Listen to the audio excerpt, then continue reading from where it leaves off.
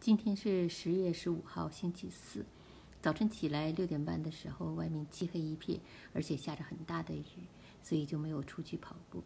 等了到七点钟左右，雨也没有停，所以我就决定在屋里跑步机上跑步。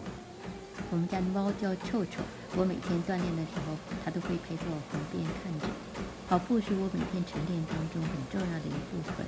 我现在是每天都必须要跑一下，早晨的时候。否则我就觉得很不舒服，跑完了以后就觉得神清气爽。我记得有人曾经问过，跑步对身体有什么好处？对于我来说呢，呃，跑步呢有很多的好处，呃，其中一个主要的好处呢，就是我跑步的时候呢，呃，肩呃肘在不停动。那因为我有五十肩，啊，两年前得过五十肩，所以我肩膀一直在恢复状态。我觉得跑步呢，对我这五十肩的恢复呢起到很大的作用。还有呢，就是对肌肉的影响。那跑步呢，对腿部的肌肉和腰腹部的肌肉都有很大的帮助。那跑过一段时间以后呢，你会发现你的小腿和大腿的肌肉都变得非常的紧致。那腰腹部呢，也会逐渐的就是赘肉和减少。另外一个呢，就是对心肺功能的增强。我刚开始跑步的时候呢，跑得很慢的时候，心率就达到一百五十、一百六十，甚至一百七十。那现在呢，我的运动心率基本是在一百二到。一百五十之间了，我都是慢跑，在跑步机上呢，跑速基本上控制在四迈以内。连续跑了三十分钟，呃，大概三公里多一点，消耗的卡路里是二百四十四。然后接下来再慢走五分钟，呃，这样呢，基本是三十五分钟左右完成。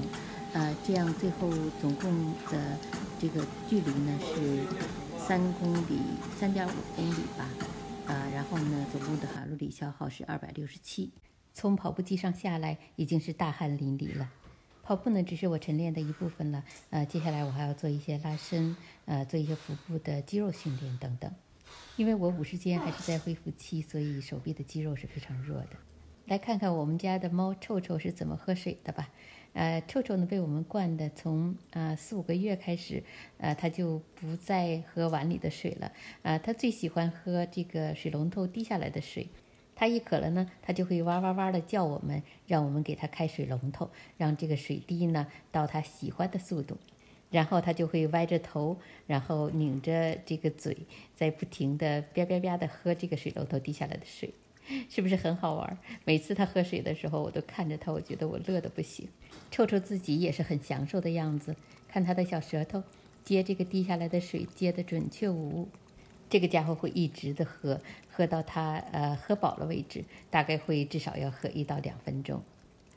终于喝完了，臭臭满足的离开了水龙头，开始他的美好快乐的一天。臭臭。好，谢谢大家收看，再见。